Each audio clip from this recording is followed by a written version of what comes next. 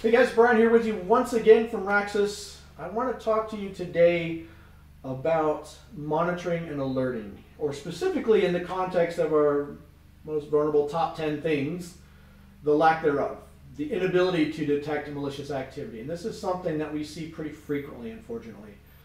It's either that our customers don't have any monitoring solution in place, they have a monitoring solution in place in many cases, but it doesn't detect what it needs to detect. It's not tuned properly. So in, es in essence, what monitoring alerting is, is the ability to detect anomalous events on your network, malicious events or suspicious events, things that might qualify as a security incident. You're able to detect those, able to alert upon those, and you're able to react to them uh, in a timely manner.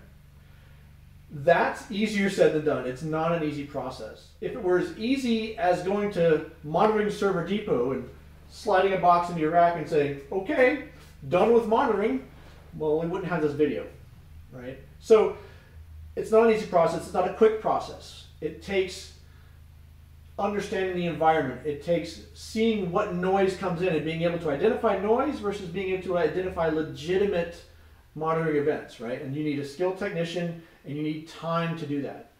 So one of the the lesser known benefits of pen testing is the ability to test that level of fidelity.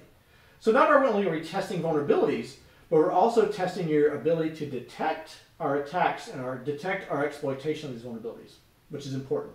In many cases, our web application testing starts off at a very quiet cadence and ramps up from there. And we can identify or help the customer identify what threshold uh, detection occurs at, which gives them an idea of how rigorous their monitoring is, whether they need to increase it, reduce it, whatever. Uh, it lets them know that it's effective or it's not effective and gives them uh, direction to change it and modify their settings. So um, that's important.